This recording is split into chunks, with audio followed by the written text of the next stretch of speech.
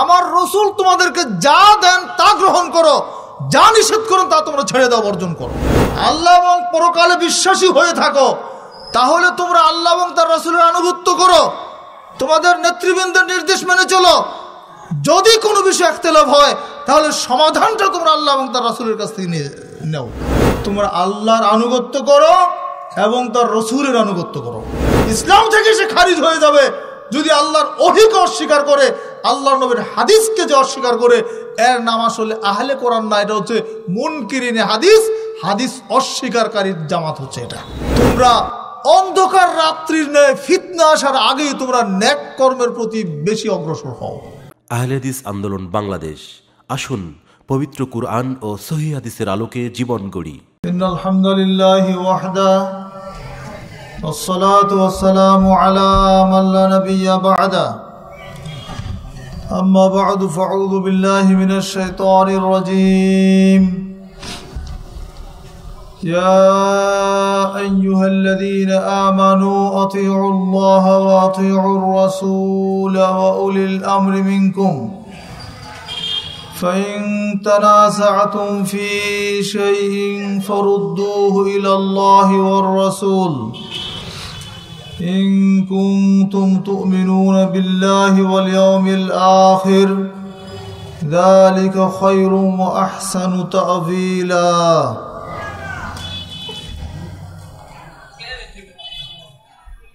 عن عائشة رضي الله عنها أن رسول الله صلى الله عليه وسلم قال من عمل عملا ليس عليه أمرنا فهو رد.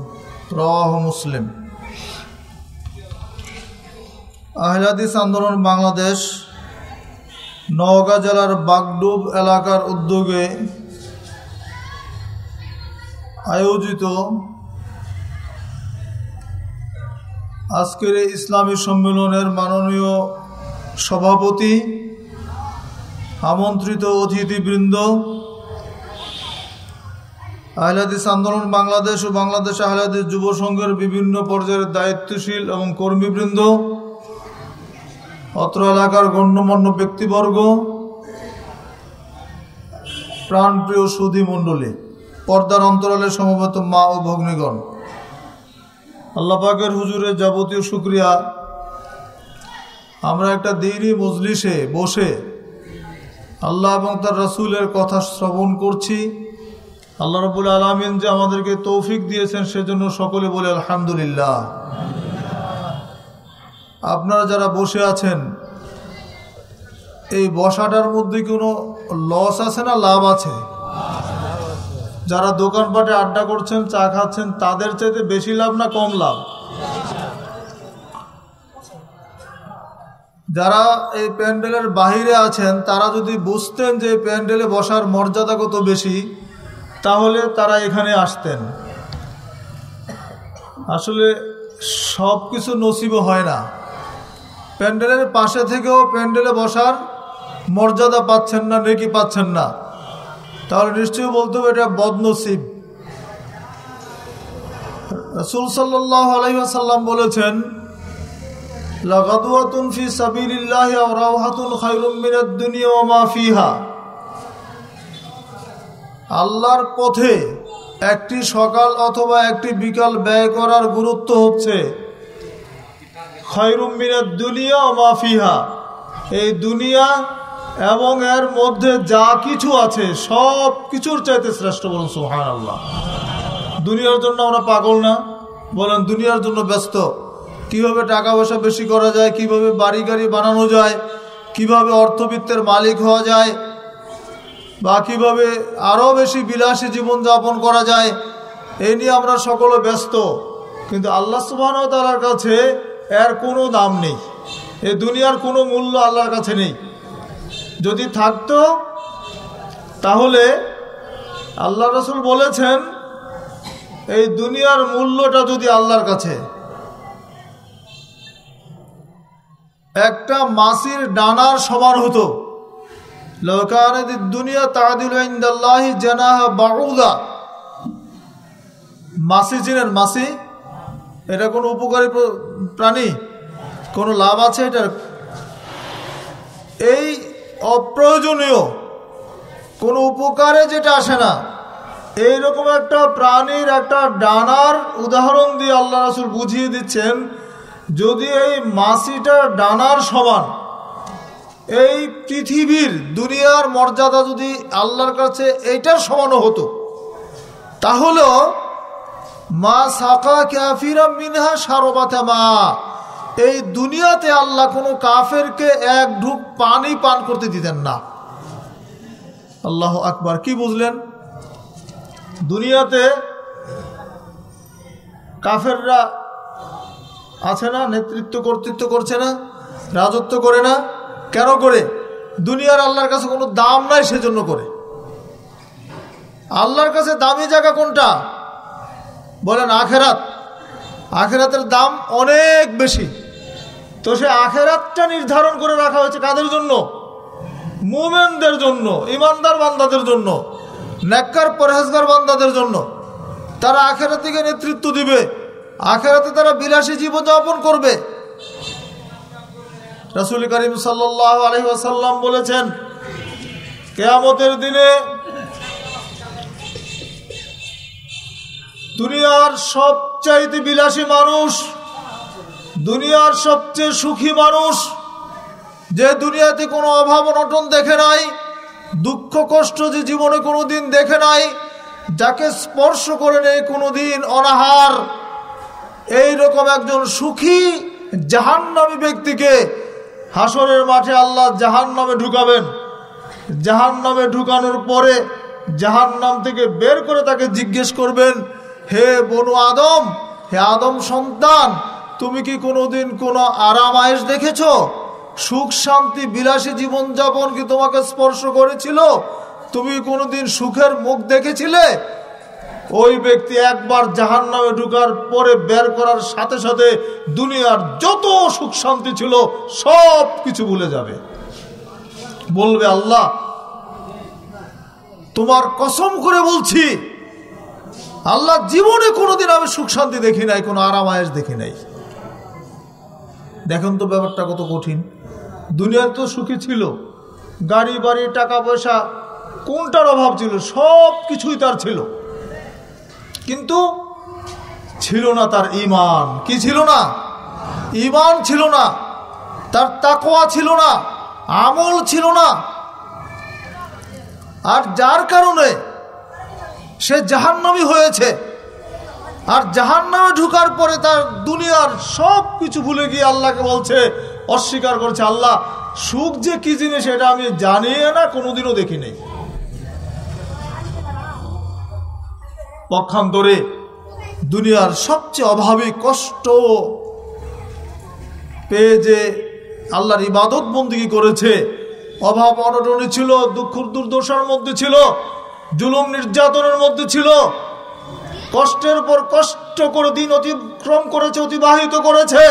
কিন্তু আল্লাহর ইবাদত ছাড়ে নাই, নবীর আনুগত্য ছাড়ে নাই, আল্লাহকে ভুলে যায় নাই, পরহেজগারিতা ভুলে যায় নাই, দিনদারি ভুলে যায় নাই হালাল, হারাম বিচার বিশ্লেষণ করে, হারাম পরিত্যাগ করেছে, হালাল গ্রহণ করে দুনিয়াতে চলেছে, জান্নাতের সৌভাগ্য লাভ করেছে।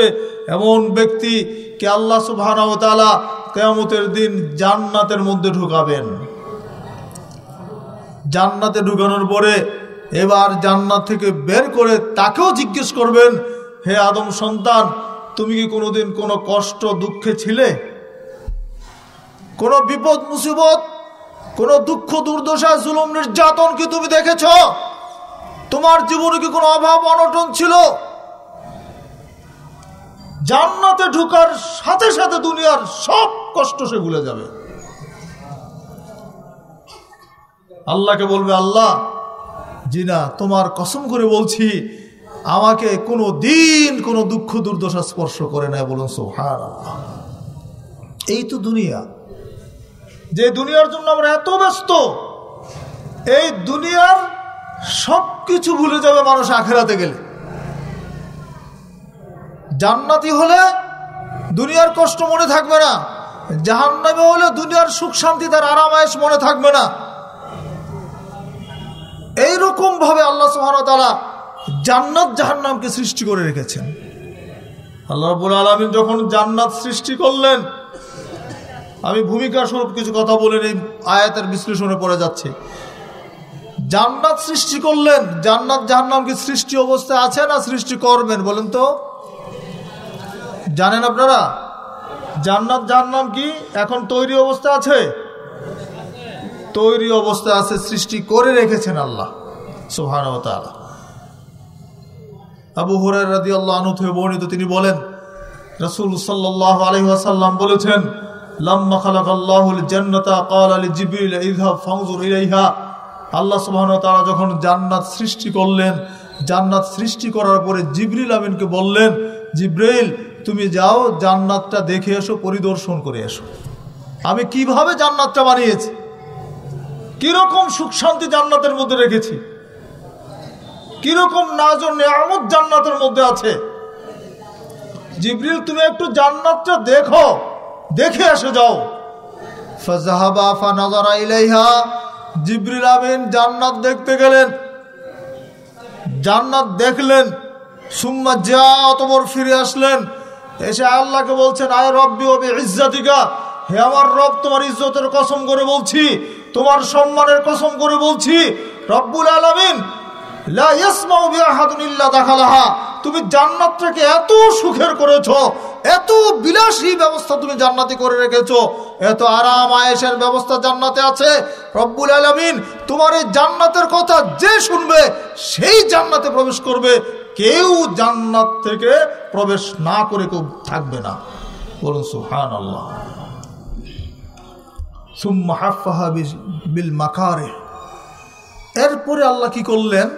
জান্নাতটাকে দুঃখ, দুর্দশা, বিপদ, মুসিবত দিয়ে জান্নাতটা ঢেকে দিলেন, ঘিরে দিলেন। দেওয়ার পরে এবার আবার জিব্রাইলকে বলছেন, জিব্রাইল, এবার তুমি আবার জান্নাত দেখতে যাও।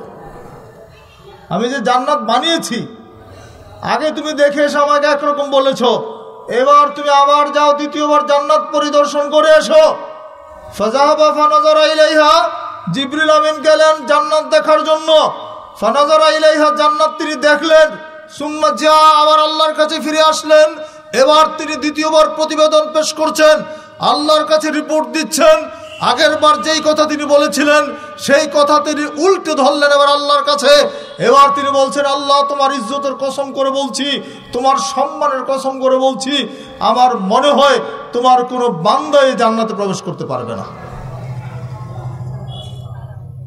লাগাত খাসিতু আমি আশঙ্কা করছি আমার ভয় হচ্ছে।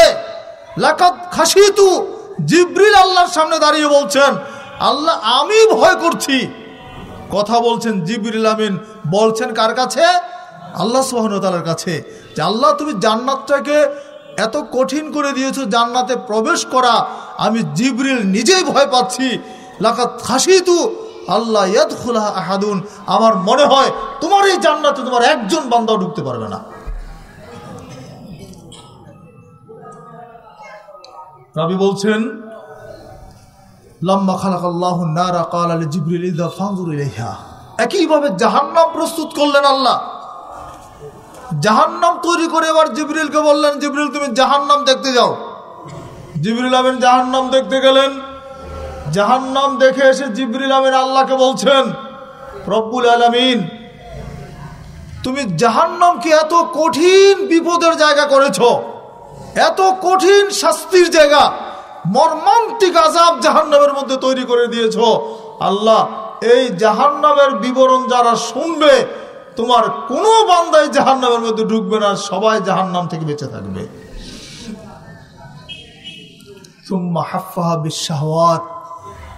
এরপরে আল্লাহ সুবাহ জাহান্নামটাকে শাহওয়াত দিয়ে প্রবৃত্তি দিয়ে ঘিরে দিলেন। খেল তামাশা দিয়ে আনন্দ ফুর্তি দিয়ে বিলাসিতা দিয়ে জাহান নামটা ঘিরে দিলেন। মনে যা চায় তাই করব। কোরআন হাদিস মানার কোনো দরকার নাই, দিন ধর্ম করার কোনো দরকার নাই। যা যা খুশি তাই করব, স্বাধীনভাবে চলাফেরা করব। দুনিয়াটা মস্ত বড়, খাওয়া দাওয়া কি? ফুর্তি করা। এই দুনিয়াতে আসছি শুধু খাওয়া দাওয়া ফুর্তি করার জন্য। আর কিসের ইবাদত বন্দি করতে হবে? ঘুমের সময় আজান দিয়ে আমাদের বিরক্ত করছে। একটু আরামে ঘুমাতেও পারে না আসারের জন্য। আসারে এরকম ভ্রান্ত আকিদা মানুষের মধ্যে? নাস্তিকদের এই সমস্ত ফাউল কথাগুলি আছে না সমাজে? তো এবার জিবরিল আমিন কে আবার বললেন, জিবরিল, এবার তুমি জাহান্নাম দেখো। যাও, আবার জাহান্নাম দেখতে যাও। জাহান্নাম দেখে এসে এবার জিবরিল আমিন বলছেন, রব্বুল আলমিন, তোমার ইজ্জতের কসম করে বলছি, আমার ভয় হচ্ছে, লাগাত খাসি তু আল্লাহ ইয়াবকা আহাদুন ইল্লা দেখালাহা। আমার ভয় হচ্ছে, তোমার কোনো বান্দা মনে হয় এই জাহান্নামে প্রবেশ থেকে বাঁচতে পারবে না। কি বুঝলেন হাদিস থেকে? জাহান্নামে প্রবেশ থেকে মনে কোনো বান্দা বাঁচতে পারবে না। তাহলে জাহান্নামটাকে এত চারদিক দিয়ে শাহওয়াত দিয়ে প্রবৃত্তি দিয়ে ঘিরে দেওয়া হয়েছে। শাহওয়াত মানে কি? প্রবৃত্তি মানে কি? মনের গোলামি করা। মন যা চায় সেটা আপনি করবেন। আল্লাহ সুবাহ নির্দেশ মানবেন না। আল্লাহ হারাম খেতে নিষেধ করেছেন, আপনি হারামটাই খাবেন। আল্লাহ মদ খেতে নিষেধ করেছেন, ওই মদই খাবেন। আল্লাহ জুয়া খেলতে নিষেধ করেছেন, জুয়াই খেলবেন। তা আল্লাহ যেটা হারাম করেছেন, সেটা আপনি হালাল করছেন। আর আল্লাহ যেটা হালাল করেছেন, সেটা আপনি হারাম করছেন। তো আল্লাহর বিধানটাকে পরিবর্তন করে দেওয়া হচ্ছে। আল্লাহর নির্দেশনার উল্টা কাজ করা হচ্ছে। এইভাবে যারা চলবে, তাদের জন্য জাহান নামে যাওয়াটা সোজা। কোনো পরিশ্রম নাই, সরাসরি জাহান নামে যেতে পারবে। আর জান্নাতে যাওয়ার জন্য কিছু পরিশ্রম লাগবে, তাই না? জান্নাতে এমনি যেতে পারবেন। এই যে মার্শাল্লাহ আপনার অনেক ভাই, দিনী ভাই বসে আছেন। যারা বসেছেন বিনা স্বার্থেকেও বসে আছেন। নিশ্চয়ই আপনাদের আমাদের একটা স্বার্থ আছে। আমরা কথা বলছি এখানে আমাদের স্বার্থ আছে। আপনি বসে শুনছেন, সেখানেও স্বার্থ আছে। এই স্বার্থটা হচ্ছে আমাদের আখেরাতের স্বার্থ। কি, ঠিক না? আখেরাতের স্বার্থ। বিনা লাভে কেউ বসি নাই। বসেছি, দিনের কথা শুনব দিন শিখব, সে অনুযায়ী আমল করব। যতক্ষণ এখানে বসে থাকব, রহমতের ফেরস্তা আমাদেরকে ঘিরে রেখেছে। সুহান ভিডিও হচ্ছে, এখন তো আর বিশ্বাস করতে কষ্ট হয় না। এখন তো একটা অ্যান্ড্রয়েড মোবাইল সেট থাকলে সারা দুনিয়া হাতের মুঠোয়, তাই না? এটাকে গ্লোবাল ভিলেজ বলা হয়, তাই না? সারা পৃথিবীটা একটা গ্রাম হয়ে গেছে এখন। আপনি এখানে বসে কথা বলছেন, সুদূর আমেরিকাতে কথা বলেন। আপনার আত্মীয় স্বজনের সাথে, ছেলে মেয়ের সাথে, একেবারে ছবি সহ সে কোন রুমে আছে, কীভাবে আছে, বসে আছে না শুয়ে আছে, আপনিও দেখছেন, সেও আপনাকে দেখছে। টেকনোলজি কত ডেভেলপ করছে, চিন্তা করেন, আল্লাহ আকবার। তো এইটাকে তো ভালো কাজে লাগানো যায়, মন্দ কাজেও লাগানো যায়। এটার মধ্যে কোরআন পড়া যায় যে কোরআন আমি খুলেছি, তাই না? এটার মধ্যে হাদিস খুঁজে পাওয়া যায় দিনই আলোচনা পাওয়া যায়, আবার এটার মধ্যে খারাপ জিনিসও আছে আছে না? তো এই যন্ত্রটার দোষ না যিনি চালায় তার দোষ? তো যিনি চালাবেন, তার মধ্যে যদি ইমান না থাকে, তার মধ্যে যদি আল্লাহ ভীতি না থাকে, তার মধ্যে যদি তাকও না থাকে, তো তাহলে তো সেটাকে খারাপের দিকেই নিয়ে যাবে। সবচাইতে বড় জিহাদ তো হচ্ছে নিজের নফসের বিরুদ্ধে জিহাদ করা। আমার নফসের বিরুদ্ধে আমাকে জিহাদ করতে হবে। আমার নফস খারাপের দিকে আমাকে নিয়ে যাচ্ছে। আমাকে জিহাদ করে সেখান থেকে ভালোর দিকে আমাকে থাকতে হবে, টিকে থাকতে হবে। সম্মানিত উপস্থিতি, তাহলে বোঝা যাচ্ছে জান্নাতে যাওয়ার জন্য আমাদের কিছু কাজ আছে। জান্নাতে যাওয়ার জন্য কিছু কাজ আছে। যে আয়াতটি তিলাওয়াত করেছি, সুরা নিসার উনষাট নম্বর আয়াত। এই আয়াতে আল্লাহ সুবাহতালা কিছু আদেশ করেছেন। এই কোরআনটা কার? আল্লাহর কালাম না?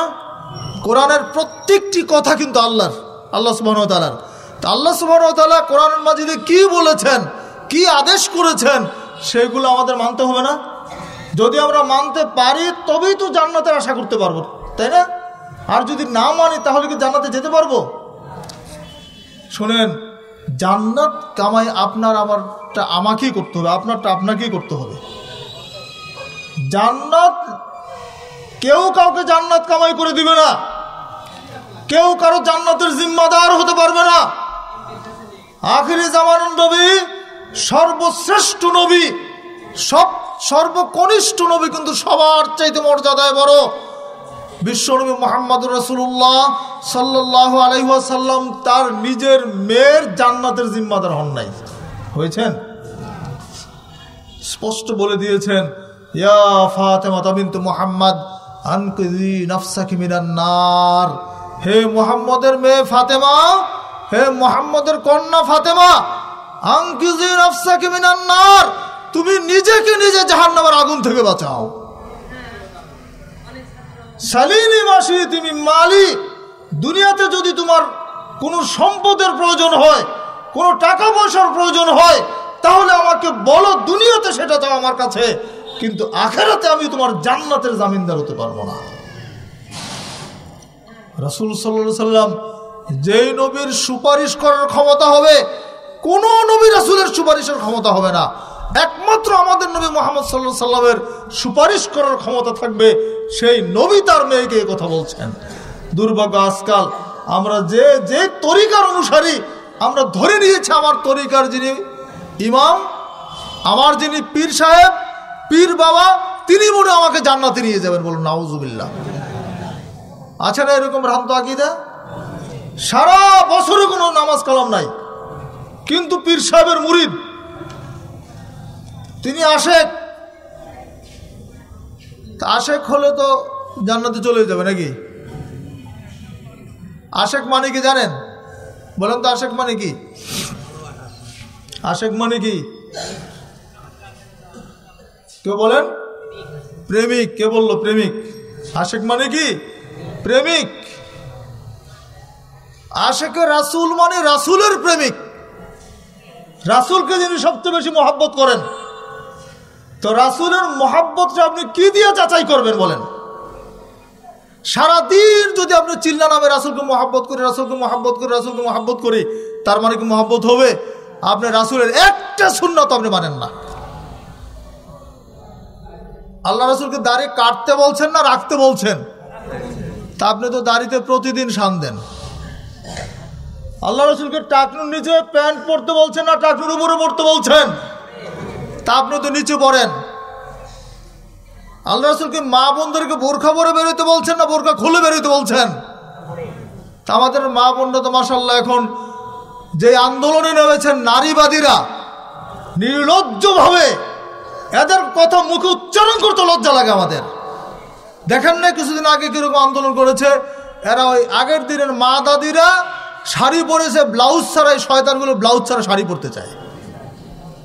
এই দাবি তুলে রাজপথে এরা মিছিল করছে, বক্তব্য দিচ্ছে। নারী স্বাধীনতার নামে ন্যাংটা হওয়ার জন্য মাঠে নেমেছে এরা, এত অসভ্য জাতের। ইল্লা মাসা আল্লাহ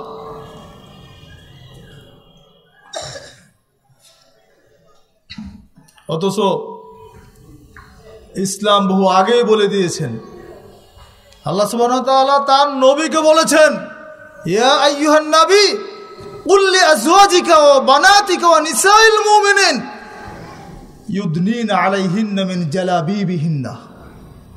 দেখেন, ইসলাম কীভাবে শিক্ষা দিচ্ছেন? আল্লাহ ওয়া তাআলা নবীকে বলছেন। কি বলছেন? নবী, তুমি বলো। কুল্লি আজওয়াজিকা তুমি তোমার স্ত্রীদেরকে বলো।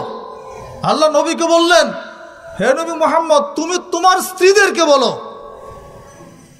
এক নম্বরে স্ত্রীদের কথা বললেন, ওয়া বানাতিকা, তোমার কন্যাদেরকে তারপরে বলো। ইল সমস্ত নারী জাতিকে তুমি বলে দাও। ইউদনিন আলাইহিন্না মিন জালাবিবিহিন্না। তারা যেন তাদের মাথার ওনাটাকে সামনের দিকে ঝুলিয়ে দেয়। তাহলে আল্লাহ সুবাহতাল্লাহ তার নবীকে বললেন যে, তুমি তোমার বিবিদেরকে আগে বলো, কন্যাদেরকে বলো, সমস্ত মুসলমানদেরকে বলো।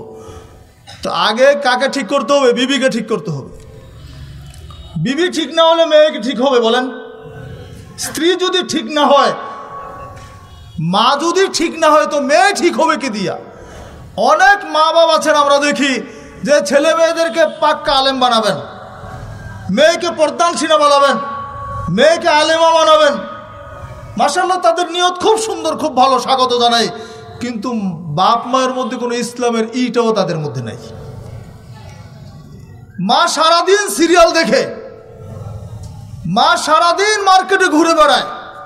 তার কাপড়ের ঠিক নাই, পোশাকের ঠিক নাই পর্দা বসিদার ঠিক নাই ওই মায়ের মেয়েটা কীভাবে ভালো হবে বলেন? ভালো হবে? মাকে দেখে তো সন্তান শিখবে। বাবাকে দেখে তো সন্তান শিখবে। একটা সন্তানের জন্য তার পরিবারটা হচ্ছে তার প্রথম শিক্ষা প্রতিষ্ঠান। কথা ঠিক না? আপনার ছেলে মেয়েকে আপনাকে শিক্ষা দিতে হবে। ছেলেটা বাড়িতে ঢুকবে কীভাবে? বাড়ি থেকে বের হবে কীভাবে? এই সুন্নাত কি স্কুল থেকে মাস্টারকে শিখাবে আপনাকে? আপনি আপনার ছেলেকে শিক্ষা দেন। বাবা বাড়ি থেকে বের হচ্ছ, বলো বিসমিল্লা আল্লাহ তাক্কাল তো আল্লাহ আল্লাহর নামে আল্লাহ তোমার উপর তাক্কাল করছে, বলো সোহান আল্লাহ প্রত্যেকটা দোয়া চমৎকার, অর্থবোধক দোয়া। ছেলেকে শিক্ষা দেন, ঘুমাতে যাচ্ছ, বাবা। এবার তুমি দোয়া বলো আল্লাহ বিসমিকা আমুতু আহিয়া। কি চমৎকার দোয়া আল্লাহ নবী শিক্ষা দিয়েছেন। কি বলছে আমরা সেখানে? হে আল্লাহ বিস্মিকা তোমার নামে।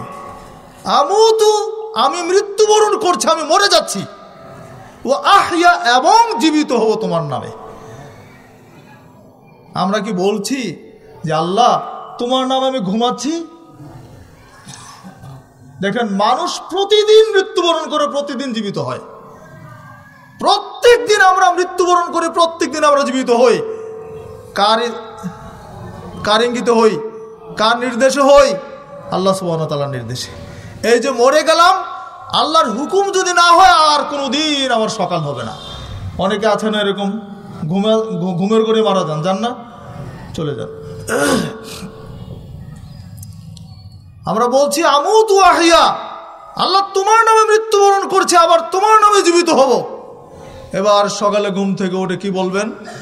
আলহামদুলিল্লাহ আহিয়ানা বাদামা আমাতানা। কি, এরপরে কি? ইলাইহিন নুসুর অর্থ কি? হে আল্লাহ, আলহামদুলিল্লাহ, সমস্ত প্রশংসা আল্লাহর। আল্লাহ যিনি আহিয়ানা আমাকে জীবিত করেছেন। বাদামা আমাতানা, আমার মৃত্যুর পরে যিনি আমাকে জীবিত করেছেন। তার মানে কি, রাত্রে মরে গিয়েছিলাম? তাই না? মৃত্যুবরণ করেছিলাম। এখন সকাল হয়েছে, আমি আবার জীবিত হয়েছি। এই জন্য আল্লাহর আদায় করতে হবে। এই শুক্রিয়া আদায়টাকে আমরা করি। আমরা তো দোয়াগুলি যাই না, আমার সন্তানকে আমি শিক্ষা দেই নাই। আমার সন্তানকে বাড়িতে ঢুকার সময় সালাম দিতে হবে, আমি শিক্ষা দেই নাই। আমার সন্তান খেতে বসলে কীভাবে খাবে, আমি শিক্ষা দেই নাই। এক গ্লাস পানি খাওয়ার জন্য যতগুলো সুন্নাত আছে, সেটা শিক্ষা দেয় নাই। আমার ছেলে তো আমি নিজেই তো দাঁড়িয়ে গটগট করে পানি খাচ্ছে আমার ছেলে কীভাবে শিখবে? আগে আমার আপনার মধ্যে দিন নিয়ে আসতে হবে তারপরে আমার সন্তান শিখবে। আমাকে পানি খাওয়ার সময় সুন্নাতগুলো পালন করতে হবে বিসমিল্লা বলে পানি খেতে হবে ডান হাতে পানি খেতে হবে বসে পানি খেতে হবে তিন নিঃশ্বাসে পানি খেতে হবে খাওয়ার পরে আলহামদুলিল্লাহ বলতে হবে। কতগুলো হলো সোননাথ দেখেন? এতগুলি সোননাথ এক গ্লাস পানির মধ্যে আল্লাহ আল্লাহ নবী দিয়েছেন সোহান আল্লাহ খেতে বসেছেন, কীভাবে খাবেন? এক প্লেট ভাত নিয়েছেন, এখন খানাটা কোন দিক দিয়ে শুরু করবেন? কি বলে খাবেন? বিসমিল্লা বলে। ডান দিক থেকে এবং নিজের কাছ থেকে খাওয়া শুরু করতে হবে। খাবার পরে গেলে কি করতে হবে? উঠিয়ে খেতে হবে। খাবারটা পরিষ্কার করে খেয়ে নিতে হবে। খাবারের মাঝখান থেকে খেতে নিষেধ করা হয়েছে। কেন? কারণ হাদিসে আসছে আল্লাহ রাসুল বলছেন তোমরা পাত্রের মাঝখান থেকে খেও না। কারণ মাঝখানে বরকত নাজির হয় বলুন সোহান আল্লাহ আমরা অনেকে জানি না বিষয়গুলি ওই সবগুলো মিলে মাঝখান থেকে খাওয়া শুরু করে দিচ্ছি। প্লেটটা চেটে খেতে হবে পরিষ্কার করে। এখন আপনার আধুনিক আধুনিক জামানার লোক আপনার এখন ডিজিটাল জগতের মানুষ। প্লেটটা মুছে খাইলে মনে করেন যে নাদান মনে কোনোদিনও ভাত খানে সেকেলে। দেখেন, সুন্নাতের বিরুদ্ধে কটাক্ষ করছেন কিন্তু আপনি। তাহলে আপনি যদি সুন্নাতকে কটাক্ষ করেন, তাহলে তো আপনার ইমানই থাকবে না। থাকবে, ইমান থাকবে। ইমান ভঙ্গের এটা একটা কারণ কিন্তু। কেউ যদি সুন্নাতকে কটাক্ষ করে, শরীয়তের কোনো বিধানকে যদি কেউ বিদ্রুপ করে, তাহলে তার ইমান নষ্ট হয়ে যায়। হ্যাঁ আপনি মানতে পারেন না, অপারগতা, এটা ঠিক আছে। আমি সুন্নাত জানি কিন্তু আমি মানতে পারি নাই। এটা আমার ব্যর্থতা, আল্লাহর কাছে তবা করব ইস্তাকফার করব, ক্ষমা চাইব। কিন্তু আপনি দাঁড়িয়ে রাখেন না, কিন্তু দাড়ির বিরুদ্ধে কটাক্ষ করতে পারবেন? পারবেন না। কটাক্ষ করলে এটা এনকার হলো। এটা মন কিরণে হাদিসের মধ্যে পড়ে যাচ্ছেন আপনি। আপনি হাদিসকে অস্বীকার করলেন। আল্লাহ রসুলের সোননাথকে আপনি অস্বীকার করলেন। তাহলে আপনি ইমানদারের খাতে আপনার নাম থাকবে না। আর একটা সমস্যা আমাদের দেশে যেটা হয়, মা বোনরা আছেন, শোনেন অনেকেই। আমরা আমাদের সন্তানদেরকে আধুনিক বানাতে গিয়ে আমরা কি করি? ছেলেদেরকে, মেয়েদের, এই, মেয়েদেরকে ছেলেদের ড্রেস পরাই। পরাই না? জিন্সের প্যান্ট পরাই টি শার্ট পরাই, ফতুয়া পরাই, গেঞ্জি পরাই। এই যে মেয়েদেরকে, ছেলেদেরকে মেয়েদের পোশাক পরানো, আর মেয়েদেরকে ছেলেদের পোশাক পরানো এটা আল্লাহ রসুল লানত করেছেন এর উপরে। অভিসম্বাদ দিয়েছেন যে নারী পুরুষের পোশাক পরে আর যে পুরুষ নারীর পোশাক পরে, তাদের প্রতি লানত করেছেন আল্লাহ নবী, অভিশাপ দিয়েছেন আল্লাহ নবী। অথচ আমরা মনে করি এটাই আমাদের জন্য আধুনিকতা। এটাই আধুনিকতা। ইসলামটা মনে পুরনো হয়ে গেছে। ইসলামটাকে নতুন করে ঘষে মেজে আবার আধুনিক বানাইতে হবে। ঠিক এই সমস্ত ভ্রান্ত চিন্তাধারা। ইসলাম সারা জীবন আধুনিক, ইসলাম সারা জীবন মডারেট কেমন পর্যন্ত ইসলাম মডারেট থাকবে। এটাকে নতুন করে আধুনিকতার নাম দিয়ে ইসলামের বিধানকে বিকৃত করার কোনো অধিকার কারণে ইসলামের প্রত্যেকটা বিধান সাইন্টিফিক বিজ্ঞান ভিত্তিক বিধান। আল্লাহ কোরআন বলে দিয়েছেন কোরআন হাকিম। কোরআনটা কি? বিজ্ঞানময়। কোরআনে যা বলা আছে, এগুলো তো রিসার্চ করে করে এখনও কিছু করতে পারেন নাই। মহাশূন্যের তো একটা কোনো এখন আবি- আবিষ্কার হয় নাই। পৃথিবীতে এমন নক্ষত্র এখনও আছে। এখনও পর্যন্ত যার আলো পৃথিবীতে পৌঁছানো বলেন আল্লাহ আকবার। কত বিশাল জগৎ আল্লাহ সৃষ্টি করে রেখেছেন। যার কিনারায় আমরা পড়ে আছি, ছোট্ট একটা গ্রহের মধ্যে যার নাম পৃথিবী নামক একটা গ্রহ। আল্লাহ ওয়া কত বড়, আল্লাহ আকবার। তিনি সব চাইতে বড়, এই জন্য আমরা বলি আল্লাহ আকবার। অথচ আল্লাহ আকবর ধ্বনি দিলে আপনাদের আবার গায়ে লাগে। এইটারও আবার রাজনীতির মধ্যে ঢুকিয়ে দিয়েছেন। আল্লাহ আকবর স্লোগান দিলে এটাকে একটা দলীয় স্লোগান মনে করা হচ্ছে। আবার দলের ওরা বলছে, না, এটা আমাদের দলের স্লোগান না, এটা হচ্ছে ওই ব্যক্তির ব্যক্তিগত স্লোগান। হয়নি এরকম কিছু? আরে ভাই, আল্লাহ আকবর তো আমাদের প্রাণের স্লোগান, ইমানদারদের স্লোগান, মুসলমানদের স্লোগান। এই তকবির ধ্বনি তো আমরা সবসময় দেই, সালাতের পরতে পরে তো আল্লাহ আকবর ধ্বনি আছে না? আমরা হজে গেলে তাকবির দেন আল্লাহ আকবর বলি না। আমরা ঈদের সালাতে গেলে আল্লাহ আকবর বলি না। আমরা তো মুসলমান, তাহলে ইসলামটাকে রাজনীতি থেকে আলাদা করে দিচ্ছেন কেন? আমরা তো মনে করি বাংলাদেশের প্রত্যেকটি দলের তিনি আওয়ামী লীগ হন আর বিএনপি হন, যাই হন, প্রত্যেক দলের স্লোগান হওয়া উচিত আল্লাহ আকবর। নারে তাকবির আল্লাহ আকবর হবে। এরপর আপনি দলের যেটা পারেন এটা করেন। তো এইটাকে ধাক্কা দিয়ে এক জায়গায় ফেলে দিয়ে ওইটাকে অমুক দলের বানানো, এইটা আমাদের না, ওইটা ওদের না। এই যে একটা খেলা শুরু হয়ে গেছে দেশে, ইসলামটা নিয়ে খেলতামাশা শুরু হয়ে গেছে। সম্মানিত উপস্থিতি, বলছিলাম, ইসলাম আমাদেরকে সত্যিকার অর্থে মানতে হবে। আল্লাহ ওয়া তাআলা বললেন আমানু রাসূল। হে ঈমানদারগণ তোমরা আল্লাহর আনুগত্য করো এবং তার রসূলের আনুগত্য করো। উলিল আমরি মিনকুম, আর তোমাদের মধ্যে যিনি উলুল আমর, নির্দেশদাতা, নেতৃবৃন্দ, তার আনুগত্য করো। তোমাদের আমির যিনি, তার আনুগত্য করো।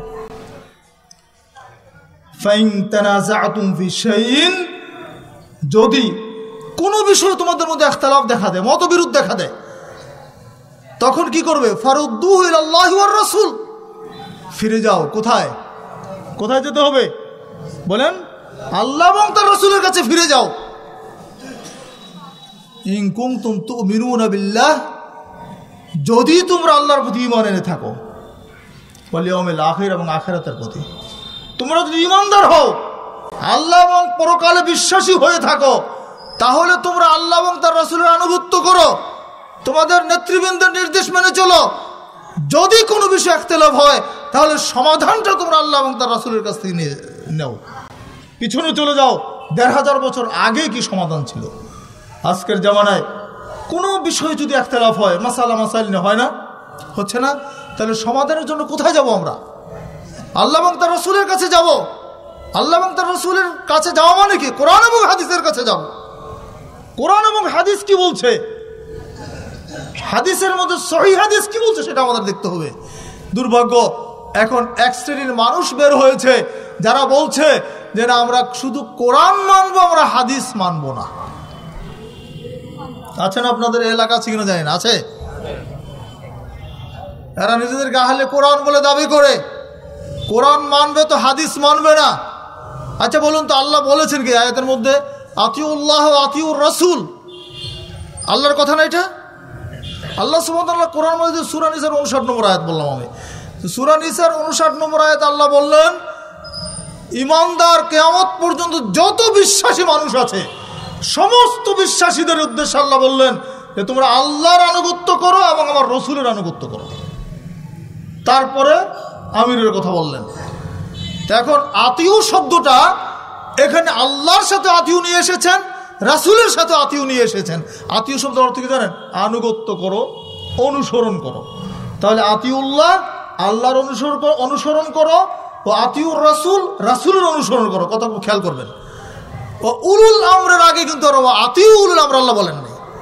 উলুল আমর যিনি, আমির যিনি, তার ক্ষেত্রে কিন্তু আল্লাহ বলেন নাই। আবার আতিউ শব্দটা নিয়ে আসেন না তিনবার আতিউ আনেন নাই। এখান থেকে বুঝতে হবে, ব্যাখ্যা হচ্ছে যে আতিউর অধিকার, পাওয়ার আল্লাহ এবং তার রসুলের আছে। ইন্ডিভিজুয়ালি তারা যেটা বলবে সেটা মানতে হবে। আল্লাহটাও মানতে হবে, তার নবীরটাও মানতে হবে। কিন্তু আমির যদি তাদের বাইরে কিছু বলেন, সেটা মানা যাবে না। কথা ঠিক না? আমির যদি তাদেরটা বলেন, আল্লাহ এবং তার নবীর কথা যেটা, সেটা যদি বলেন, তাহলে নির্দ্বিধায় সেটা মেনে নিতে হবে। কিন্তু তার বাইরে বললে আমিরের আনুগত্য করতে হবে না। যেমন আল্লাহর নবীর আনুগত্যের কথা আল্লাহ নিজে বললেন।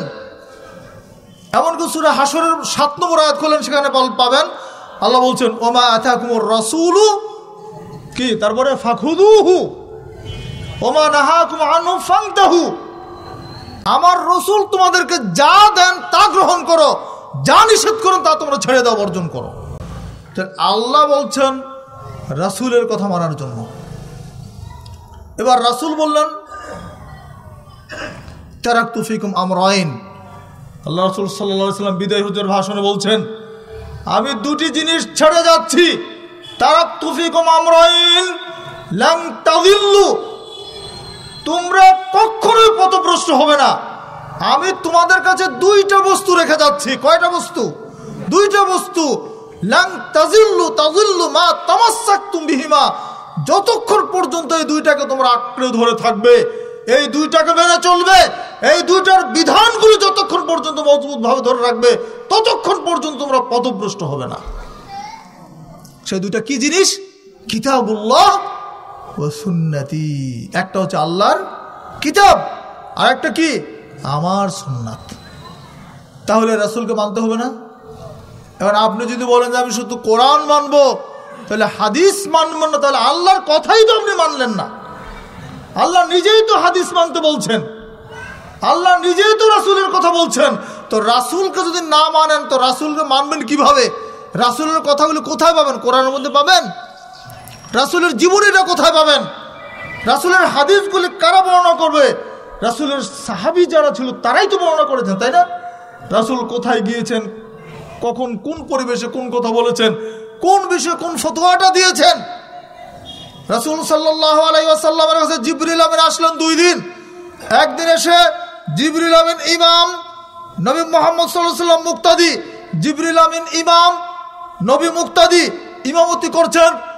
জিব ফেরেস্তাদের সর্দার জিবরিল আমিন মুক্তাদি হচ্ছেন নবীদের সর্দার আমাদের নবী মোহাম্মদ সাল্লাহ সাল্লাম পাঁচ ওয়াক্ত সালাত একদিন যা তিনি সালাত আদায় করে প্রশিক্ষণ দিলেন নবীকে।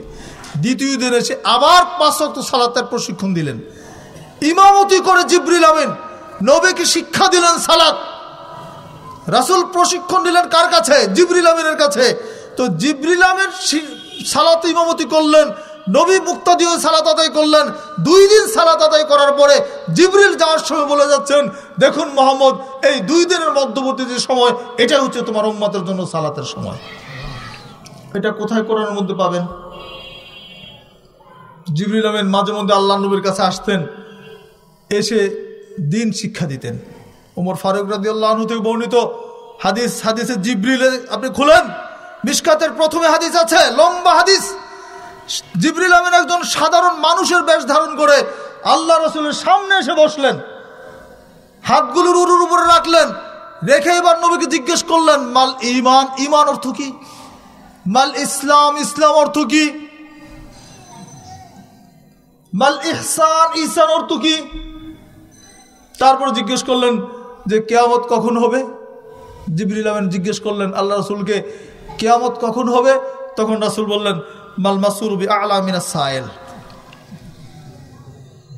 এ বিষয়ে যাকে প্রশ্ন করা হয়েছে, তিনি প্রশ্নকারীর চাইতে বেশি জানেন না। এই কথা দিয়ে বোঝা যাচ্ছে যে প্রশ্নকারীটা যেন তেন লোক না, তাই না? রাসুলকে প্রশ্ন করলেন, এতগুলির জবাব তিনি দিলেন।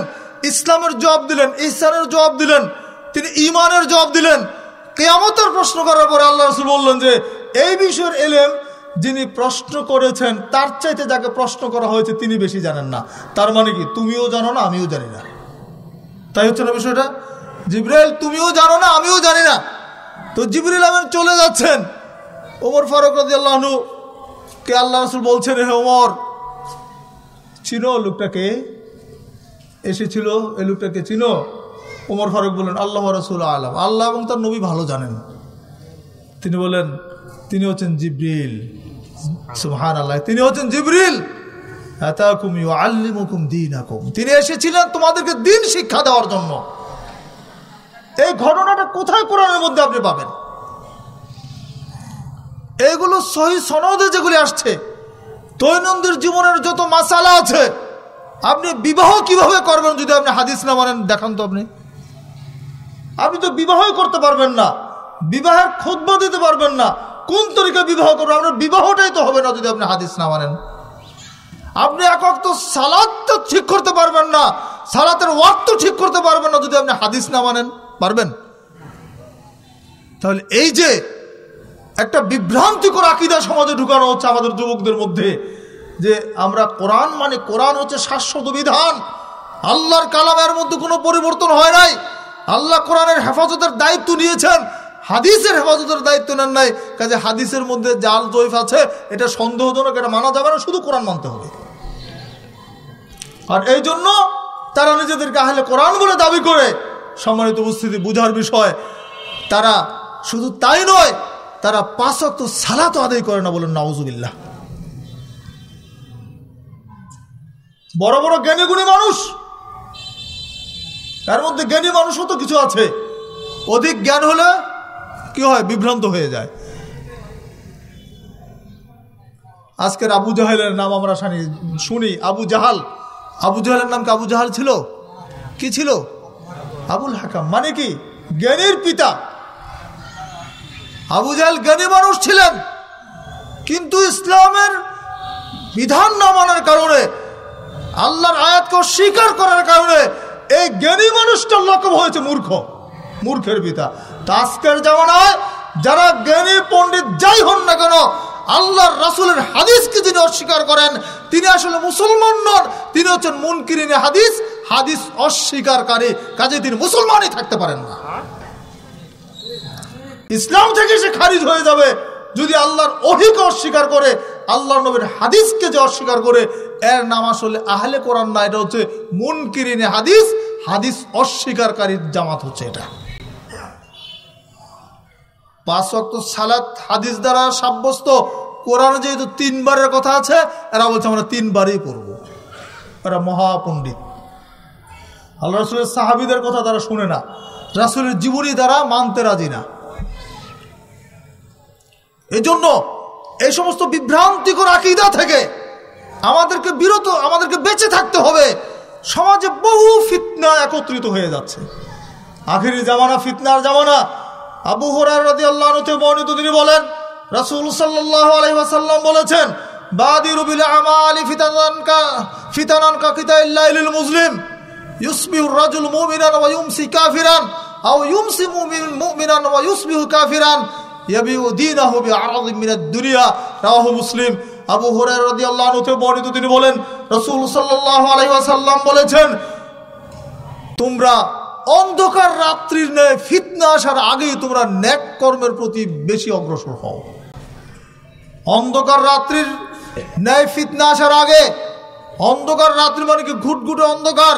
কিছুই দেখা যায় না, চারদিকে আচ্ছন্ন হয়ে গেছে। আল্লাহ নবী বুঝাতে চাইলেন এরকম জটিল পরিস্থিতি এত বেশি ফিতনা একত্রিত হয়ে যাবে, সেই ফিতনা আসার আগেই তোমরা বাদিরুবিল আমাল, তোমরা বেশি বেশি করে নেকির কাজ করো, বেশি বেশি করে আমল করতে থাকো।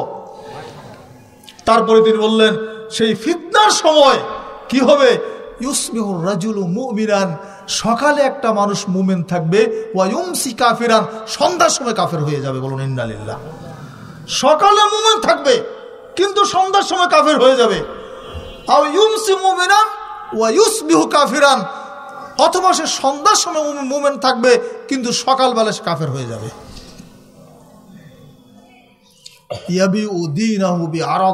দুনিয়া, সে তার দিনটাকে তার দুনিয়ার বিনিময় বিক্রি করে দিবে। আজকে দিন বিক্রি হচ্ছে না? বলেন, দিন বিক্রি হচ্ছে না? ইমান সকালে ইমানদার হলে সন্ধ্যার সময় কাফের হয়ে যাবে। আবার সন্ধ্যা ইমান থাকবে সকালে কাফের হয়ে যাবে।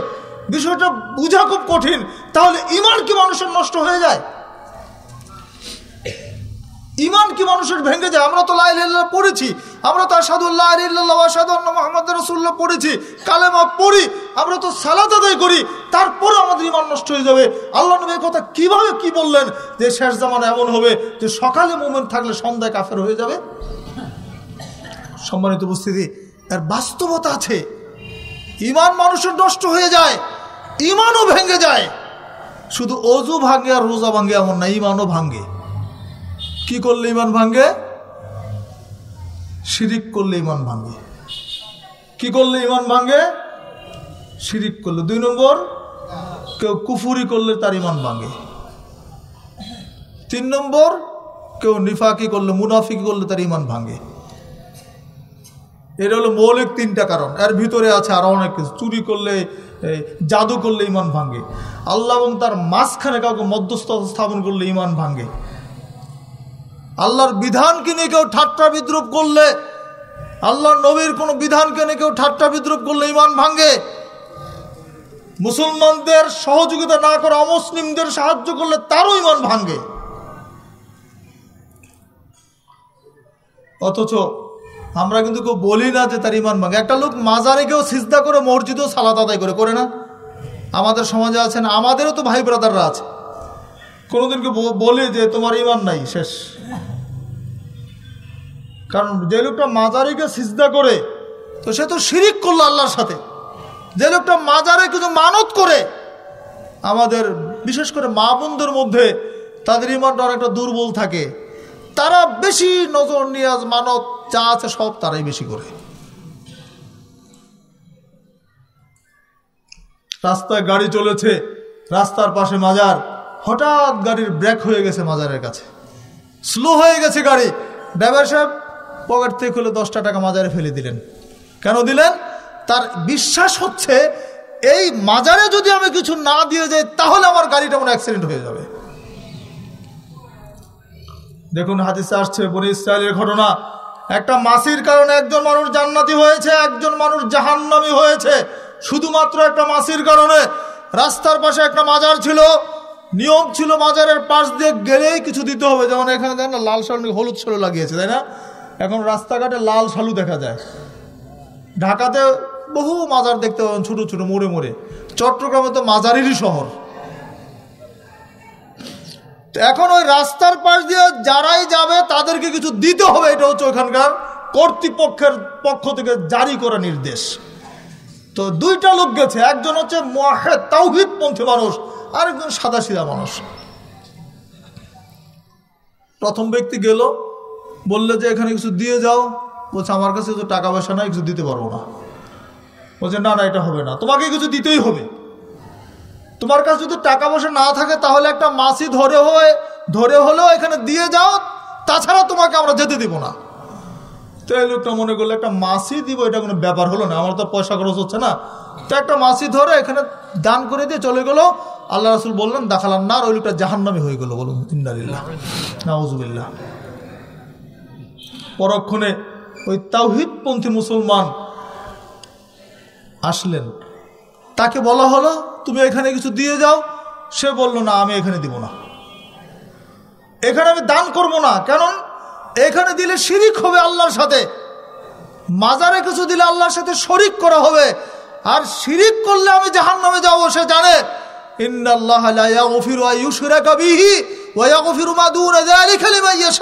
আল্লাহ বলছেন নিশ্চয় আল্লাহ শিরকের কোনো ক্ষমা করেন না। শিরিক ছাড়া যত গুণা আছে আল্লাহ এমনিতে ক্ষমা করে দিতে পারেন। পাঁচ অক্ত সালাত, সালাতের জন্য কাফারা এক জুমা থেকে আরেক জুমার জন্য কাফারা এক রামাজান থেকে আরেক রামাজান পর্যন্ত গুনাহের কাফারা মাঝখানে যত সগিরা গুণা আছে সব কিছু আল্লাহ মাফ করে দেবেন এমনিতেই। আল্লাহ আপনি ফজরের সালাদ পড়েছেন জুহর পর্যন্ত যত সগিরা গোনা আছে, ওই সালাতে এটাকে মাফ করে দিবে জুহর থেকে আসর পর্যন্ত যত সগিরা গোনা আছে, এই সালাতের বরকতে এগুলো সব মাফ হয়ে যাবে। সুহান হাদিস। ওই লোকটাকে বলা হলো যে, তুমি কিছু দাও? বলছে, দিব না। তো বলছে, তোমার কাছে যদি কিছু না থাকে, তাহলে একটা মাসি ধরে হলেও দিতে হবে। এই রাস্তা দিয়ে পার হতে হলে এইখানে কিছু দিয়েই তোমাকে যেতে হবে, তাছাড়া তুমি যেতে পারবে না। ওই লোকটা বলল, যদি আমাকে হত্যাও করা হয় কুতিলতা ও হরিকতা যদি আমাকে আগুন দিয়ে জ্বালিয়ে দেওয়া হয়, আমাকে যদি কতল করা হয় তবু আমি মাজারে একটি পয়সা দান করব না। তার ইমানের মজবুতি কত বেশি দেখেন।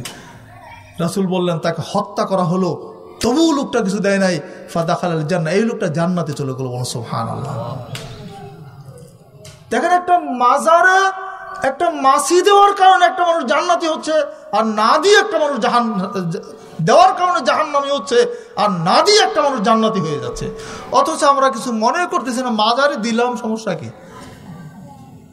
অনেক শিক্ষিত মানুষের সন্তানদেরকে আমরা দেখেছি, মাজারে গিয়েছে, বাপও সিজদা করে, ছেলেও সিজদা করে।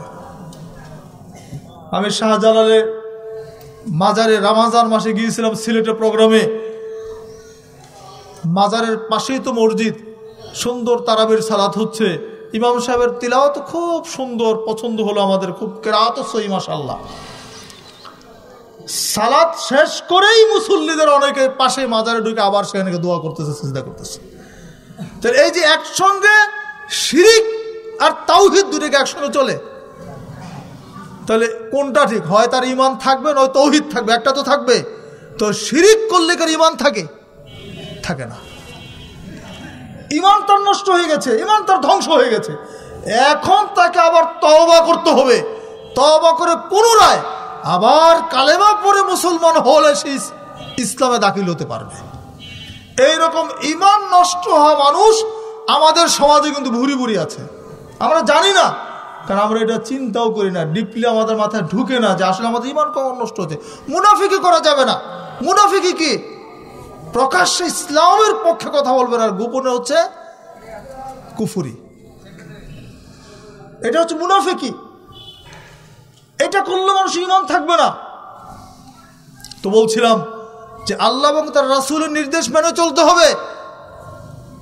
রাসুল সাল্লাহ আলহিহাসাল্লাম মায়েশারদি আল্লাহ আনা থেকে বর্ণিত তিনি বলেন,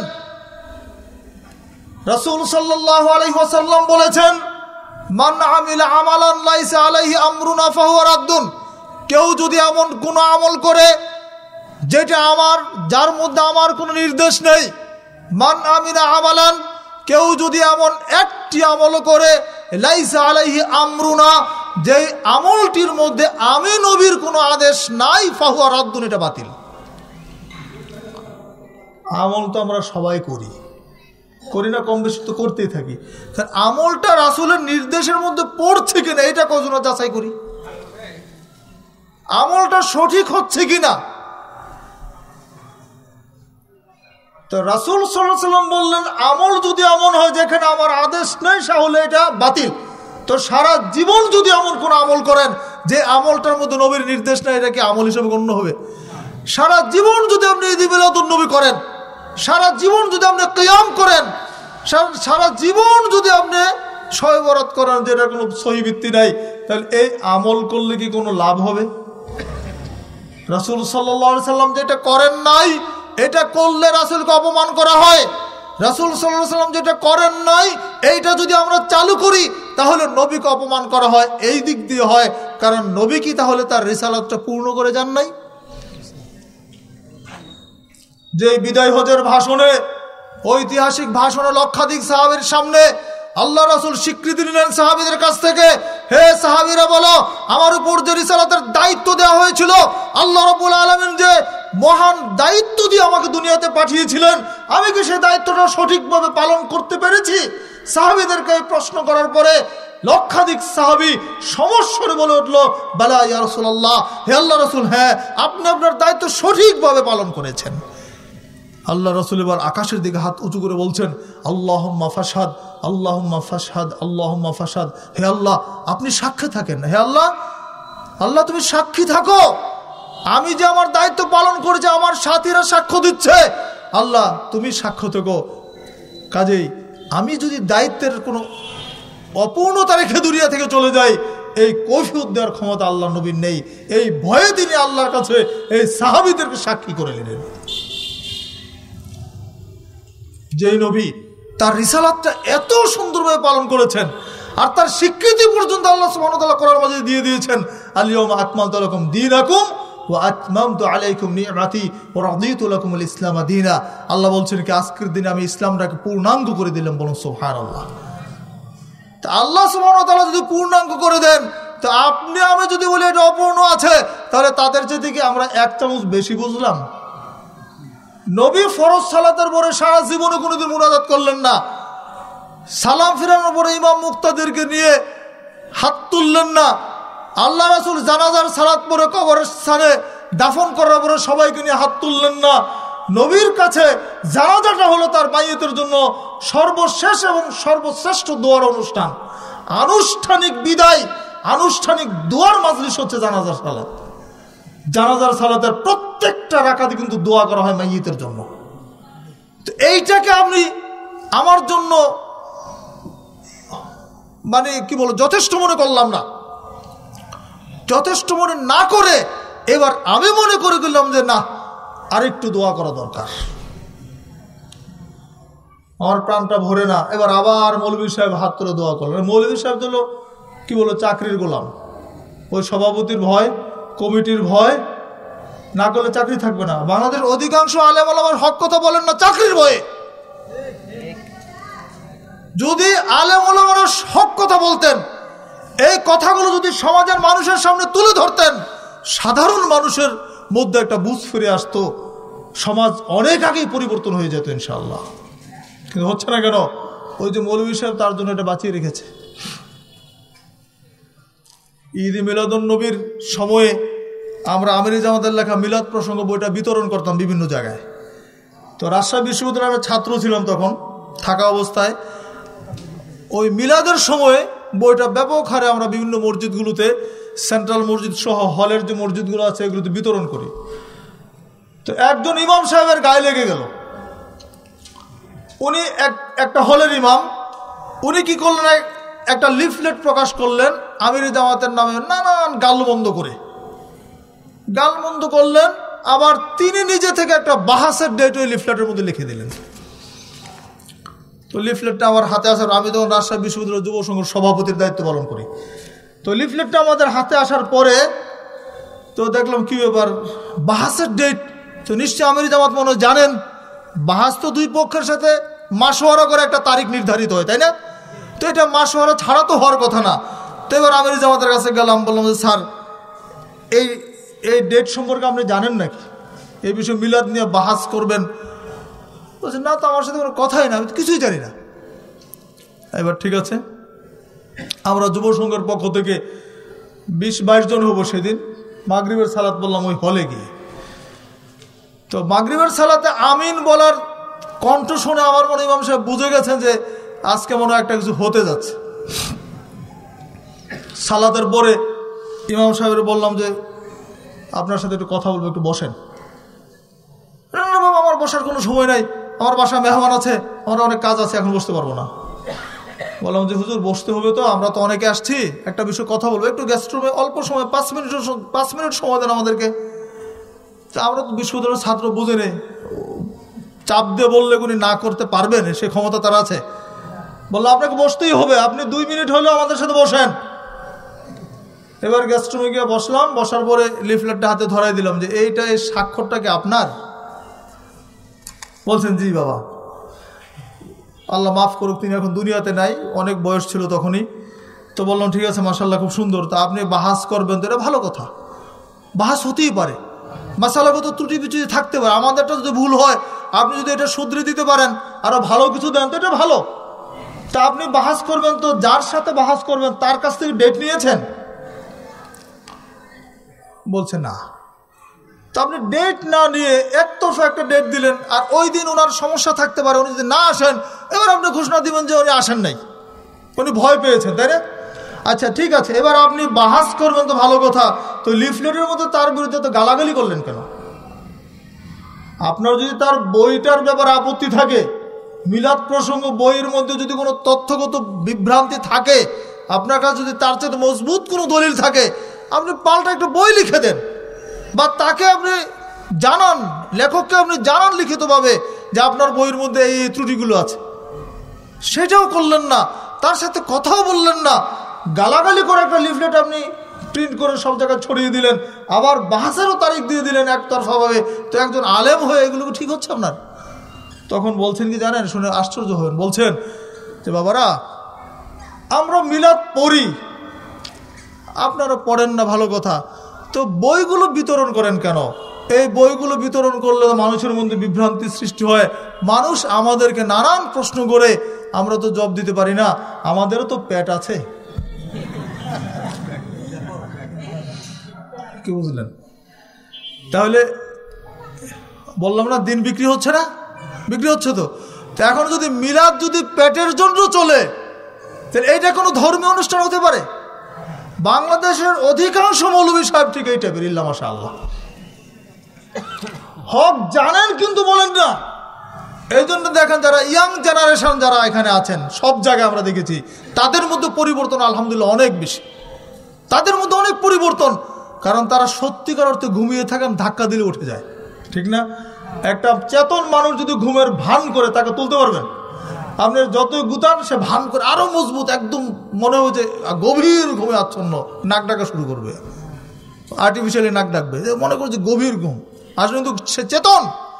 আর একটা মানুষ যদি সত্যিকার অর্থে ঘুমিয়ে থাকে, তাকে আপনি ধাক্কা মারবেন, সে লাভ দিয়ে উঠে দেবে তাহলে এদেশে ইসলাম সম্পর্কে যারা অজ্ঞ, যারা সত্যিকার অর্থে জানেন না, তাদেরকে আপনি ধাক্কা দিলে উঠে তারা চোখ খুলে দেখে যে ব্যাপারটা কি দেখি? এরা বলছে এরকম হাদিস, এরা বলছে এরকম হাদিস, একটু ঢুকে দেখি না কোথায় কি আছে। এটা কি সনাতন ধর্ম? যে যিনি ধর্মগুরু, তিনি ধর্মীয় কিতাব পড়বেন আর সাধারণ মানুষ পড়তে পারবে না? আলেমুলামারা শুধু হাদিস পড়বে, আর সাধারণ মানুষ হাদিস পড়বে না? এটা কি এরকম ধর্ম? প্রত্যেকটা মুসলমানের কোরআন, হাদিস পড়ার অধিকার আছে এবং পড়ার দায়িত্ব তাদের।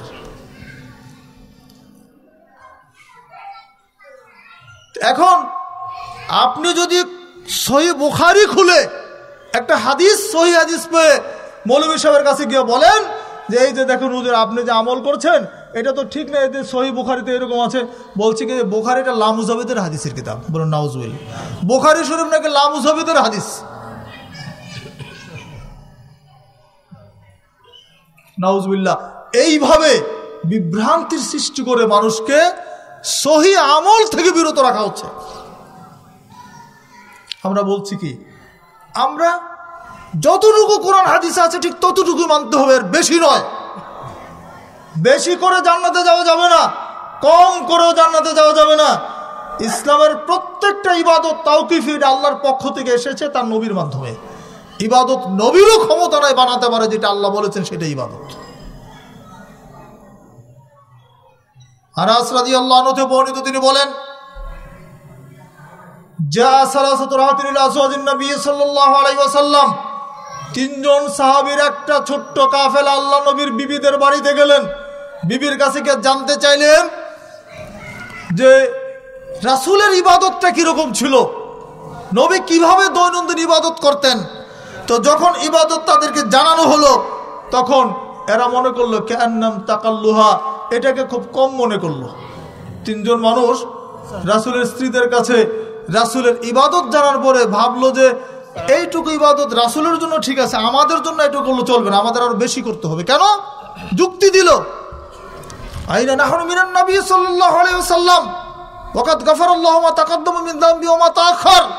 আমরা কোথায় নবীর তুলনায়? নবীর সামনের পিছনের সমস্ত গুণ আল্লাহ ক্ষমা করে দিয়েছেন। তো যেই নবীর সব গোনা ক্ষমা হয়ে গেছে, তার জন্য এইটুকু ঠিক আছে। আমাদের তো কোনো গোনার ক্ষমার বিষয় নাই। আমাদের এইটুকু করলে হবে না, আমাদের আরও অনেক বেশি করতে হবে। তিনজনে, একজন বলল যে, আমি এখন থেকে সারা রাত সালাত আদায় করব। হাদিস আপনারা জানেন, শুধু আবার স্মরণ করিয়ে দিচ্ছি। একজন বলল কি? আম্মা উসাল্লিল্লাইলা আবাদা। আমি প্রতি রাত্রে সালাত আদায় করব, সারা রাত আল্লাহর ইবাদত করে কাটিয়ে দিব। কখনো আমি ঘুমাবো না। ওকাল লাখার আসুমুন নাহারা বলে উফতির। আমি প্রতিদিন সিয়াম রাখব, একদিনের জন্য আমি সিয়াম ছাড়বো না। ওকাল লাখার তৃতীয় জন বলল, আনা আতাজিলুন নিসা, ফলে আতাজাওয়াজ। আমি নারীদের সংস্পর্শ থেকে দূরে থাকব, আমি বিবাহ শাদী করব না। সাংসারিক ঝামেলায় পড়লে ইবাদতের ক্ষতি হবে। আজকে বউ ব্যাগ ধরাইতে বলব যে, এই বাজার করো, আরেকদিন ছেলে বলব যে, এইটা আনো, ওইটা আনো। এই সংসারের সেবা করতে করতে পোলা পাইনের সেবা করতে করতে, বিবি বাচ্চাদের পিছনে সময় দিতে দিতে আমার দিনেই শেষ হবে, আর ইবাদতই করতে পারব না। কাজে এই ফেতনা আমি জোড়াবোই না, বিবাহ সাথে আমি জীবনের করব না।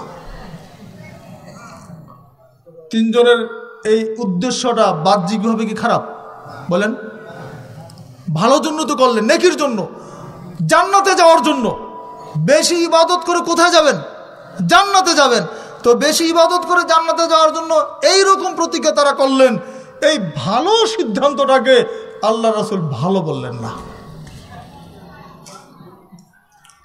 ফাজান নবী সাল্লাহ সাল্লাম আল্লাহ রাসুল তাদের কাছে আসলেন।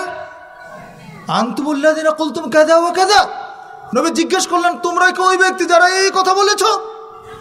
আল্লাহ নবীকে আল্লাহ জানিয়ে দিলেন। দেখেন আমাদেরকে দিন কীভাবে শিক্ষা দিচ্ছেন নবী? তো নবী এদেরকে ধরে ফেললেন গিয়ে যে তোমরা তিনজন দাঁড়াও। তোমরা কি এই কথা বলেছ? এরা তো চুপারে নবী জানলেন কীভাবে? এবার নবী বলছেন, শোনো, ইন্নি আকশা কুমলিল্লাহ আত্মা কুমলাহ আমি নবী, নিশ্চয়ই আমি তোমাদের চাইতে আল্লাহকে বেশি ভয় করি। আমার তাকো অনেক বেশি। আল্লাহ ভীতি তোমাদের চাইতে আমার বেশি। বলেন, নবীর চাইতে আমাদের তাকো বেশি। প্রশ্নই তো আসে না। তো নবী এদেরকে বললেন, শোনো, আল্লাহর কসম করে বলছি, আমার তাকো তোমাদের চাইতে বেশি। আমি আল্লাহকে তোমাদের চাইতে অনেক বেশি ভয় করি। ওলেক লাকিন্নি আমি সালাত আদায় করি আবার আমি রাত্রে আমি ঘুমাই। আসুম মুফতির আমি সিয়াম রাখি এবং আমি সিয়াম ছেড়ে দেই। ও আমি বিবাহ করেছি। আমার সংসার আছে, নবীর কয়টা বিবি ছিল? এগারোটা বিবি ছিল, এগারোটা। আমাদের এগারোটা জায়েজ না এটা নবীর জন্য খাস ছিল। আমাদের জন্য সর্বোচ্চ চারটা বিবাহ করা যাবে একসঙ্গে। চারটা বিবাহ করা জায়েজ। তার মানে এই নয় যে আজকে একটা করবেন পরশু দিন তালাক দিবেন, তারপরের দিন আরেকটা করবেন, ওই দিন আরেকটা তালাক দিয়ে পরের দিন আরেকটা করবেন। এই খেল তামাশা করা যাবে না। আল্লাহ বলে দিয়েছেন আল্লাহ যদি তুমি আদল করতে না পারো, একটা বিবির জায়গায় দুইটা বিবি নিয়ে তুমি যদি ইনসাফ করতে না পারো, দুই বিবির মধ্যে যদি সমতা কায়েম করতে না পারো, তোমার জন্য হচ্ছে একটা বিবি। কয়টা? একটা। এখন জায়েজ বলে শুধু দৌড়াবেন, চলবে না। একটারে তো ভাত খাবার দিতে পারেন না ঠিক মতো একটা ছেলে মেয়ের তো খবর রাখেন না। আর দুইটা দিবেন, যেটা বেশি পছন্দ, ওইটাকে বড় জায়গা, ভালো জায়গা দিবেন ভালোবাসা দিবেন, সুন্দর টাইলস ফিটিং আর যেটা বেশি অপছন্দ একটু ওইটা গ্রামের ওই কুড়ে করে ফেলে রাখবেন। এই হচ্ছে বাংলাদেশের ইমানদারদের অবস্থা। এইরকম করলে বিবাহ দুইটা করা যাবে না, একটাই করতে হবে, আপনার জন্য একটাই প্রযোজ্য। তো নবী বললেন, আমি তো বিবাহ করেছি, আমি তো রাত্রে ঘুমাই সালাত আদায় করি, আমি তো সিয়াম রাখি এবং ছেড়ে দেই। শোনো, ফামান রাগিবা আন সুন্নতি ফালাইসা মিন্নি। এই বাক্যটা আমাদের জন্য শিক্ষণীয়। তিনি কেয়ামত পর্যন্ত আগত সকল উম্মতের জন্য একটা ধমক শুনিয়ে দিলেন, ফামান রাগিবান সুন্নতি, যে ব্যক্তি আমার সুন্নতের বিরোধিতা করবে, যে আমার সুন্নতের সাথে গাদ্দারি করবে ফালাই সে আমার উম্মাত নয়। নবীর সুন্নাতকে যদি কেউ বিশুদ্ধার করে সুন্নাতকে যদি অ্যাঙ্কার করে অস্বীকার করে না মানে তাহলে আল্লাহ নবীর উম্মত থাকা যাবে? যাবে না। বিষয়গুলো আমাদের খেয়াল করতে হবে। বেশি করলে ভালো না। ও যত গুড় তত মিষ্টি না সব জায়গায় এটা চলে না। আপনার যতটুকু গুড় দিলে খাওয়া যাবে ততটুকুই দিতে হবে। যতটুকু শরীয়তের মধ্যে আছে ততটুকুই করতে হবে। বেশি করা যাবে না। কমও করা যাবে না বেশিও করা যাবে না। এই দাওয়াতই কিন্তু আমরা আপনাদের সামনে দিচ্ছি। সারা বাংলাদেশে আহলাদিস আন্দোলনের পক্ষ থেকে দাওয়াতি চলছে। আসুন পবিত্র কোরআন এবং সই হাদিসের আলোকে জীবন করি। সমাজটাকে সংশোধন করতে হবে, সংস্কার করতে হবে, সমাজের মানুষগুলোকে জান্নাতের দিকে নিয়ে যাওয়ার চেষ্টা করতে হবে। আল্লাহ রসুল বলছেন, আমি তোমাদেরকে কোমর ধরে টানছি জাহান্নাম থেকে বাঁচানোর জন্য, আর তোমরা আমার কোমর হাত ছেড়ে দিয়ে তোমরা জাহান্নামের দিকে চলে যাচ্ছ। আল্লাহ চান না তার কোনো বান্ধব জাহান্নামে যাক। নবী চান নয় তার কোনো উম্মত জাহান্নামে যাক। নবী চেয়েছেন প্রত্যেকটা উম্মত জান্নাতি হবে, কিন্তু আমরা নবীকে মানি না, নবীকে চিনতে পারি নাই, নবীর আদর্শ আমরা অনুসরণ করতে জানি না। আমরা বিভিন্ন ব্যক্তি পূজারি হয়ে গেছি এখন। বিভিন্ন দল পূজারি হয়ে গেছে, বাতিল ফিরকা পূজারি হয়ে গেছে। হকপন্থী জামাতের অন্তর্ভুক্ত থাকতে হবে, জামাতবদ্ধ জীবন যাপন করতে হবে। আল্লাহ সুবাহতাল্লাহ বলেছেন তোমাদের মধ্যে একটা জামাত থাকবে যারা মানুষকে সৎ কাজের কথা বলবে, অন্যায় থেকে নিষেধ করবে। এইরকম একটা জামাত, একটা সংগঠন তোমাদের থাকবে। আল্লাহর নবী বলেছেন, ইয়াদুল্লাহ আল জামাত, জামাতের উপর আল্লাহর হাত রয়েছে। মান আরাদা বকবুহাত আল জান্না ফালি আলসামিল জামা যে ব্যক্তি জান্নাতের মাঝখানে থাকতে চায়, সে সেজন্য জামাতবদ্ধভাবে চলে। ফাইন্না শায়তান আল ওয়াহেদ, শয়তান থাকে একক ব্যক্তির সাথে। ওহো মির আল ইসলাম আবাদ, দুইজন থেকে সে দূরে থাকে। আচ্ছা একা একা থাকলে শয়তান গুতায় না? শয়তান অস্বস্থা দেয় না? কিন্তু যদি আপনি একটা জামাতের সাথে থাকেন, তখন তো শয়তান ঢুকারের সুযোগ পায় না। আপনি যদি একটা জামাতের সাথে সবসময় দাওয়াতি কাজে থাকেন, তাহলে আপনার কাছে শয়তান ভিড়ার সুযোগ পাবে না। আর আপনি যদি বিচ্ছিন্নভাবে থাকেন, একা একা চলেন শয়তান আপনাকে ওয়াসওয়াসা দিবে। আপনার কোনো জবাবদিহিতা নাই, আপনার কোনো নেতা নাই, আপনার কোনো ছায়া নাই। কাজে আপনি স্বাধীনভাবে যা খুশি তাই করতে পারবেন, কারণ আপনার তো জবাবদিহিতা এখানে নেই। কিন্তু সংগঠনের মধ্যে থাকলে আপনাকে একটা নিয়ম শৃঙ্খলার মধ্যে থাকতে হবে। নিয়মিত দাওয়াতি কাজ করতে হবে, নিয়মিত কোরআন আদিজ অনুশীলন করতে হবে, নিয়মিত সালাদ সিয়াম ঠিক মতো আদায় করতে হবে, হারাম থেকে বেঁচে থাকতে হবে, হালাল রোজগার করতে হবে। অনেক নিয়ম নীতি সংগঠনের মধ্যে আছে। আহলাদিস আন্দোলন বাংলাদেশ এবং বাংলাদেশ আহলাদের যুব সংঘ দেশবিবি এই দাওয়াতি কাজ করে যাচ্ছে। আমরা আপনাদের কাছে উদাত্ত আহ্বান জানাচ্ছি আপনারাও এই সংগঠনের অন্তর্ভুক্ত হয়ে আসুন না আমরা এই সমাজটাকে সংশোধন করার চেষ্টা করি।